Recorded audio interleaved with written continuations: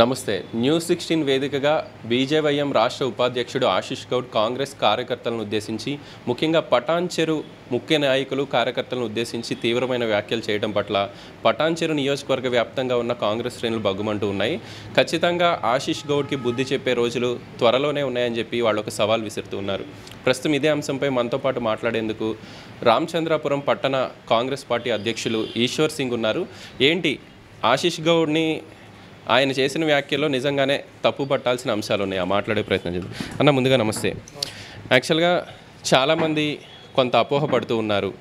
Reporter ఏం అడిగాడు ఆశీష్ గౌడ్ ఏం చెప్పాడని. రిపోర్టర్ కరెక్ట్గానే రాజకీయ విషయాల మీద అడిగినప్పుడు అతను కాంగ్రెస్ పార్టీ కార్యకర్తలను ఉద్దేశించి కొన్ని వ్యాఖ్యలు చేశాడు. అవి మీరు కూడా విన్నారు. అండ్ మీకున్న అభ్యంతరాలు ఏంటి ఏం చెప్పదలుచుకున్నారు?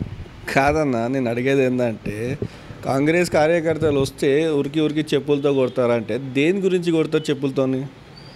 ఏ విధంగా కొడతారు? మీ నాయన ఎంపీపీ గెలిచిండు మండల్ ప్రెసిడెంట్గా గెలిచిండు ఎమ్మెల్యేగా ఫస్ట్ పటంచోరు కాన్స్టిట్యూషన్ ఎమ్మెల్యేగా మీ నాయన గెలిచిండు. ఏ పార్టీ నుంచి గెలిచిండు? టీడీపీ నుంచి గెలిచిండా?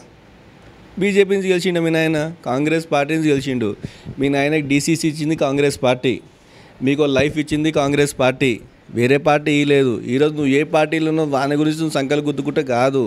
గతం ఏ రోజు కూడా మనం మర్చిపోవద్దు నీ ప్రాబ్లమ్స్ ఉన్నాయని చెప్పి నువ్వు పార్టీ నుంచి వెళ్ళిపోయినావు కానీ నీ ఇష్టం ఉన్నట్టు మాట్లాడితే ఇక్కడ ఊకటోళ్ళు ఎవరు లేరు ఇక్కడ ఫస్ట్ ఆఫ్ ఆల్ మన చరిత్ర ఏంది? మనం ఏ నుంచి వచ్చినాం? ఫస్ట్ నువ్వు తెలుసుకోవాలి ఫస్ట్ నువ్వు.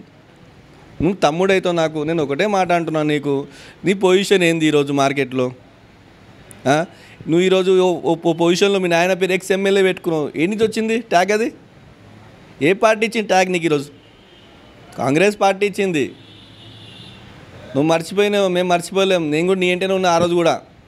ఈ రోజు కూడా నేను చెప్తున్నాను నువ్వు నువ్వు ఏ రోజు నుంచి ఉన్నావు డీసీసీ మీ నాయన నుంచి మేము కూడా నీ ఏంటనే తిరిగినాం తమ్ముడు. మేము ఏడికి బయటకు పోలేము ఇప్పుడు కాంగ్రెస్ పార్టీలో ఉన్నాము నీకు పది సంబంధించి కాటా శ్రీనివాస్ గౌడ్ ఎమ్మెల్యేగా కాదు మైపాల్ రెడ్డి ఎమ్మెల్యే. నీకేమో ఉంటే వాళ్ళ దిక్కు మాట్లాడాలి నువ్వు.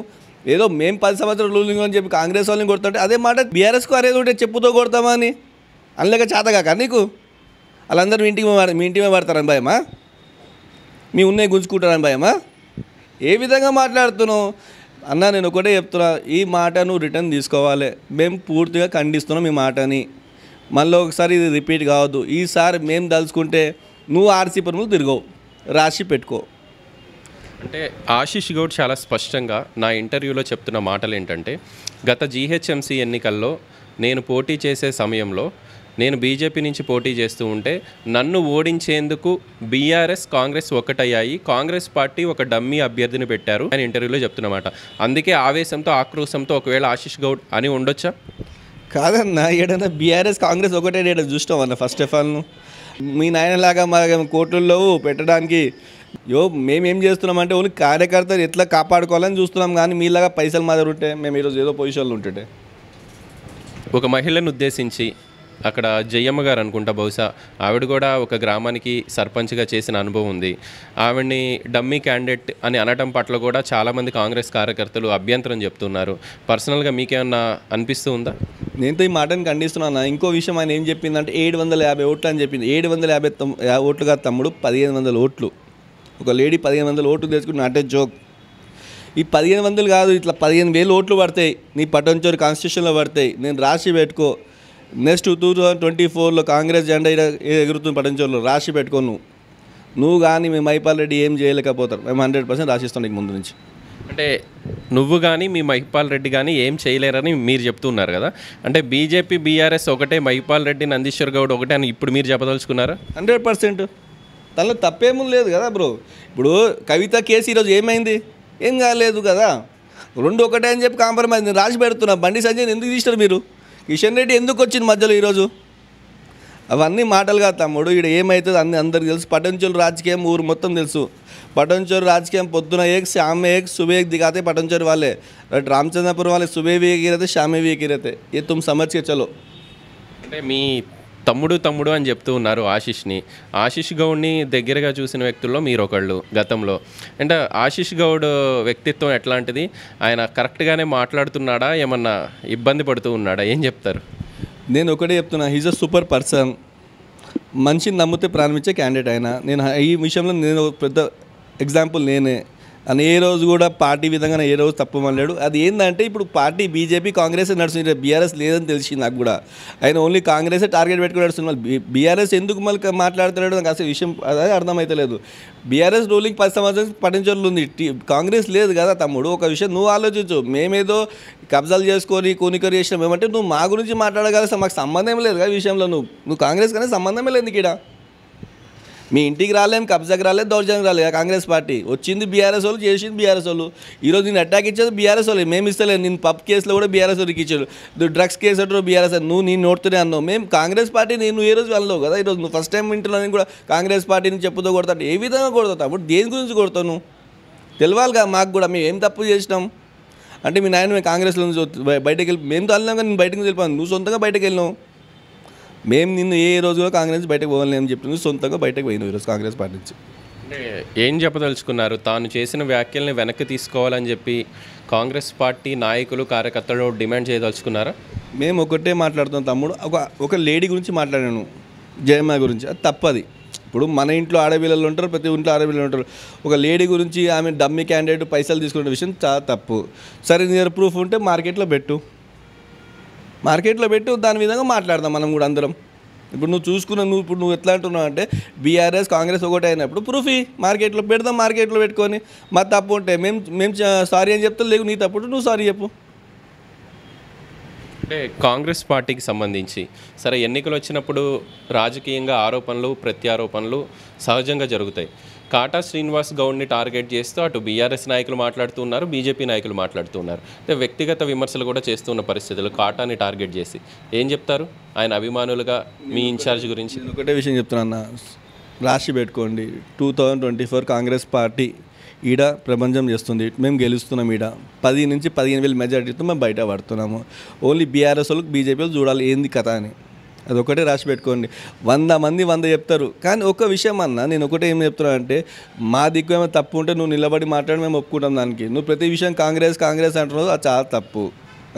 నువ్వు అదే అంటున్నావు నువ్వు గెలిచిందా మీ డాడీ గెలిచిన two thousand twenty two thousand నైన్లో మీ నాయన గెలిచిన ఎమ్మెల్యే ఏ పార్టీ నుంచి? కాంగ్రెస్ పార్టీగా తమ్ముడు.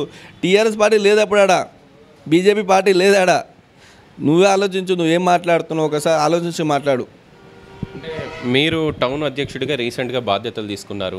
పటాన్చెరు నియోజకవర్గంలో ఎట్లా ఉంది కాంగ్రెస్ పార్టీ పరిస్థితి? ఎందుకంటే ఆశీష్ గౌడే కాదు ఈవెన్ బీఆర్ఎస్కి సంబంధించిన ఎమ్మెల్యే మహిపాల్ రెడ్డి వర్గీయులు మహిపాల్ రెడ్డి కూడా చాలా స్పష్టంగా చెప్తున్నాడు. ఏ ఏడుంది ఈ పటాన్చెరులో కాంగ్రెస్? వాళ్ళని ఎవడు చూస్తాడు? ఎవడు ఓట్లేస్తారు వాళ్ళకి? జనాలు నమ్మే పరిస్థితి లేదని. రామచంద్రపురం జనాలు ఏమనుకుంటున్నారు? అన్నా మేము మొన్న దళిత ప్రోగ్రామ్ చేసినాం. దళిత బంధు ప్రోగ్రామ్ చేసినాం. ఈ దళిత ప్రోగ్రామ్ ఎంత అయిందంటే దళిత బంధు ప్రోగ్రామ్ ఏంటంటే సీఎం అసెంబ్లీలో మాట్లాడి. సీఎం అసెంబ్లీలో మాట్లాడి మా గురించి ఈ కాన్స్టిట్యూషన్ గురించి సీఎం అసెంబ్లీలో మాట్లాడింది. మీకు అంత అవగాహన ఉంటే చూసుకోండి ఒకసారి మీరు. అక్కడ జరిగింది ఏందో సీఎం ఏం మాట్లాడు ఇక సీఎం ఆపేసిండు. ఎందుకు ఆపేసిండు దళిత బంధు? మా గురించే. ఈరోజు నువ్వు చేయలే ఉద్యమం మేము చేసినాం ఈరోజు కాంగ్రెస్ పార్టీ ఉద్యమం చేసింది మేము. రేపు బీసీ ఉద్యమం చేస్తాం మైనార్టీ ఉద్యమం చేసి చూపిస్తాం ఏం చేసినాం పబ్లిక్ అని. నువ్వు ఏం చేసినావు నువ్వు ఏం చేయలేవు అని కాదు. రాసి పెట్టుకొని ఇంకో విషయం చెప్తున్నా సరే మీ దాంట్లోనే ఒక మాట చెప్తున్నా రేపు మీ నాయన కాక ఇంకెవరికైనా టికెట్ వస్తే మీరు చేస్తారా? నువ్వు అంటే బాధ్యత చేస్తావని చెప్పినావు నువ్వు చెయ్యవు నేను రాసి పెడుతున్నా. ఇదే అలయన్స్లో ఇదే అలయన్స్లో కాటా శ్రీనివాస్ గారు టికెట్ వస్తే మీరు చేసినారా? చేయలేరు కదా. ఈరోజు కూడా చేయరు మీరు. వాస్తవం ఇది. ఎందుకంటే ఎంత తిరిగి నాకే తెలుసు మీ గురించి. బయట ఏం తెలుస్తుంది మీ గురించి ఈడ? చివరిగా ఏమైనా ఒక సలహా ఇవ్వదలుచుకున్నారా ఆశీష్ గౌడ్ గారికి? తాను మాట్లాడే వ్యవహార శైలి కానివ్వండి కాంగ్రెస్ పార్టీని ఉద్దేశించి కాటా శ్రీనివాస్ గౌడ్ను ఉద్దేశించి ముఖ్యంగా కార్యకర్తలను ఉద్దేశించి మాట్లాడేటప్పుడు జాగ్రత్త వహించాల్సిన అవసరం ఉందా ఆశీష్ గౌడ్? నేను ఒకటే అంటున్నా అన్న. ద పర్సన్ ఇస్ బ్యూటిఫుల్ మంచి పర్సన్ అయినా సోల్ హార్టెడ్ పర్సన్ అయినా. కానీ ఆయన ఏందో ఏదో ఫెస్టేషన్లో ఏదో అన్నాడు అది ఏమన్నాడో ఆయనకే అర్థం కావాలి. ఈరోజు రోజు ఆక రేపు తెలుసుకుంటాడు ఆయన ఏమన్నాడో. దాని విధంగా పబ్లిక్ బుద్ధి చెప్తా అన్న మేము చెప్పేది ఏం లేదు. ఈరోజు పబ్లికే చెప్తుంది దానికి? ఏ లీడర్ బుద్ధికి చెప్పడన్నా పబ్లికే చెప్తుంది అది మీరు రాసి పెట్టుకొని టూ థౌజండ్ ట్వంటీ ఫోర్లో చూడండి. సో ఇది రామచంద్రపురం ఆఫీస్కి సంబంధించి ఈ ఆఫీస్లో పెద్ద ఎత్తున మీరు కెమెరా వెనక్కి కూడా చూడొచ్చు. కెమెరామెన్ మీకు చూపించే ప్రయత్నం చేస్తున్నాడు. పెద్ద ఎత్తున సీనియర్ నాయకులు సీనియర్ నాయకులంతా ఇక్కడికి వచ్చారు. యువ నాయకులు ఇక్కడికి వచ్చారు. నిన్న ఆశీష్ గౌడ్ ఏదైతే వ్యాఖ్యలు చేశారో కార్యకర్తలను ఉద్దేశించి ఖచ్చితంగా మాకు మింగుడు పడట్లేదు. ఆయన ఒక నాయకుడిగా ఉండి వేరే పార్టీ కార్యకర్తల్ని నాయకుల్ని ఇట్లా ఉద్దేశించి ఇట్లా అనటం ఏంటని చెప్పి వాళ్ళంతా ఆవేదన వ్యక్తం చేస్తున్నారు. ఖచ్చితంగా ఆశీష్ గౌడ్ ఏదన్నా వ్యాఖ్యలు చేసేటప్పుడు ఆపోజిషన్ పార్టీల గురించి కొంచెం ఒళ్ళు దగ్గర పెట్టుకొని మాట్లాడాల్సిన అవసరం ఉందని కూడా చాలామంది తమ అభిప్రాయాన్ని వ్యక్తం చేస్తూ ఉన్నారు. ఖచ్చితంగా క్షమాపణ చెప్పాల్సిన అవసరం ఉంది ఆశీష్ గౌడ్ అని చెప్పి వీళ్ళంతా డిమాండ్ చేస్తున్నారు. రాబోయే రోజుల్లో మేము చెప్పడం కాదు ఇక్కడున్న ప్రజలే ఆశీష్ గౌడ్ కానివ్వండి ఎవరైతే కాంగ్రెస్ పార్టీని ఉద్దేశించి ఘాటు వ్యాఖ్యలు చేస్తూ ఉన్నారో అనవసర రాద్ధాంతం చేస్తున్నారో అనవసర ప్రచారం చేస్తున్నారో వాళ్ళకి ఇక్కడ స్థానిక ప్రజలే బుద్ధి చెప్తారని చెప్పి ఇక్కడున్న కాంగ్రెస్ నాయకులంతా స్పష్టం చేస్తున్నారు. వీడియో జర్నలిస్ట్ సంజయ్తో గోపికృష్ణ న్యూస్ సిక్స్టీన్ పటాన్చేరు నియోజకవర్గం నుంచి.